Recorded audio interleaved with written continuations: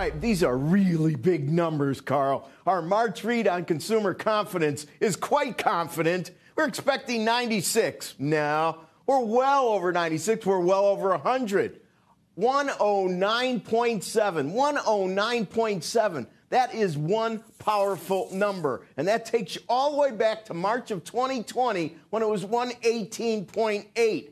Boy, if there's any reason or any doubt as to why U.S. Treasury rates are going up, this is the number you should be looking at. And if you look at present situation, 110, 110, another huge number, takes you all the way back to March of 20 to find the comp, although that comp was 166. But still, that is the next comp if you look for the next largest level. And finally, expectations. What may lie ahead?